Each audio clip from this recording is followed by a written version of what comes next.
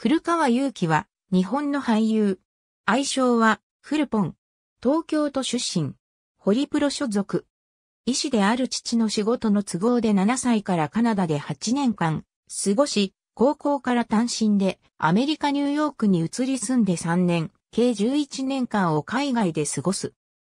慶応義塾ニューヨーク学院を経て、日本に帰国し、慶応義塾大学理工学部に進み、2009年、ミスター慶応に選出される。2010年、ホリプロ創業50周年記念事業の一環として開催された新人発掘オーディション、キャンパスター H50 with メンズノンノで審査員特別賞を受賞し芸能界デビュー。2013年、日英共同作品、家康と按針で海外デビュー。同年、主演ドラマ、いたずらなキス、ラブイン東京が日本と同時に中国で配信され大ヒットを記録。中国、上海にて日本人俳優初となるファンミーティングを開催し、計1200人を動員。空港に1000人を超すファンが出迎え、宿泊先のホテルには約300人が待ち構える騒ぎになった。2014年、中国版ツイッターウェイブイのフォロワー数が100万人を突破。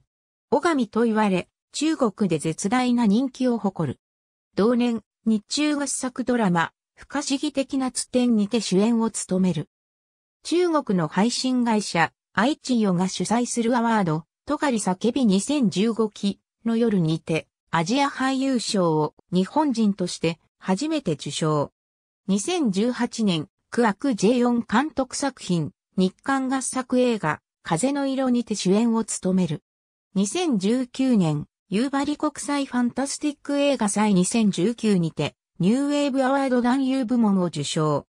同年6月23日、前日の22日に、一般人女性と結婚したことを発表。同年10月11日、所属事務所及び自身のツイッターを通じて第一、子女児誕生を報告した。2021年、ウェイブイアカウントフェスティバル2020、美白日本軍営会にて、注目俳優賞を受賞。ウェイブイ総フォロワー数は2020年8月時点で450万人を突破している。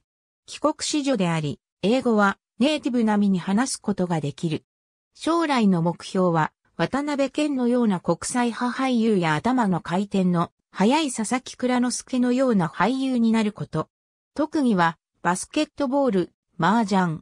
ブレイクダンスも得意で、大学時代はダンスサークル、リボルブの代表も務めた。